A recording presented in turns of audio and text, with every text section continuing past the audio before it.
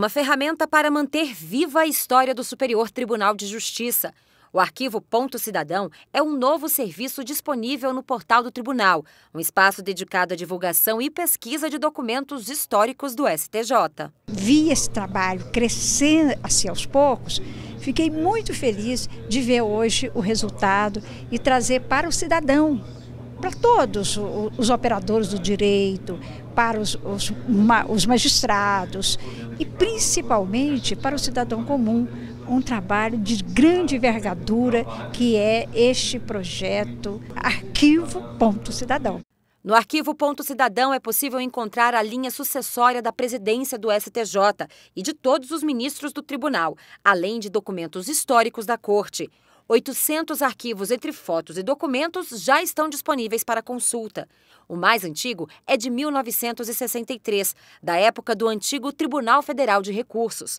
Júlio César, um dos idealizadores do projeto, diz que a ideia é aumentar o acervo. Nós temos, por exemplo, é, muitas fotos ainda que não receberam o tratamento é, final, que estão em fase de tratamento, que serão disponibilizados.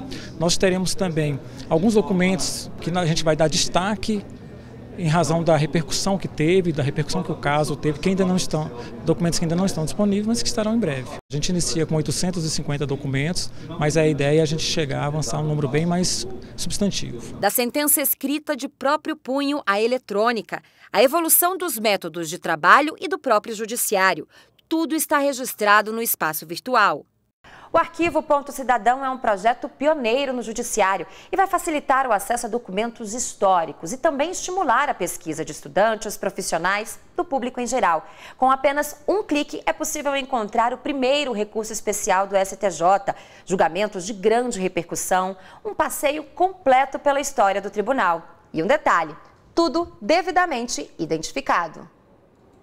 O arquivo Ponto Cidadão foi lançado durante uma cerimônia no STJ, que contou com a presença de ministros e da presidente da corte, ministra Laurita Vaz, que destacou a importância de valorizar a história do STJ e do judiciário.